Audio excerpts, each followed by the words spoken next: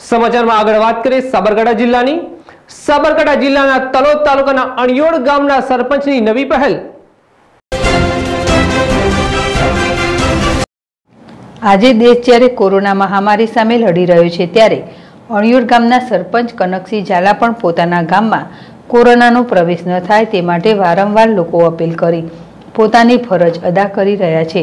આજે કોરોનાનો પ્રવેશ ન થાય તે માઇક એલાઉન્સ કરી સોશિયલ ડિસ્ટન્સ પાલન કરવું માસ્ક ફરજિયાત પહેરવું, ગામમાં ચાર વ્યક્તિઓ ભેગા ન થવું, તેમજ ગામમાંથી જિલ્લા બહાર ન જવું, તેમજ બહારના જિલ્લામાંથી કોઈ એક આમંત્રણ ન આપવા વિનંતી સરપંચ દ્વારા કરવામાં આવી હતી. જ્યારે કનકસિંહ સરપંચે ગ્રામજનો અપીલ કે ઘરમાં રહો, સુરક્ષિત રહો, તેમજ સાથે એ પણ જણાવ્યું કે કોરોના મહામારી સામે લડત લડવા ગ્રામજનોનો સહયોગ માંગ્યો હતો.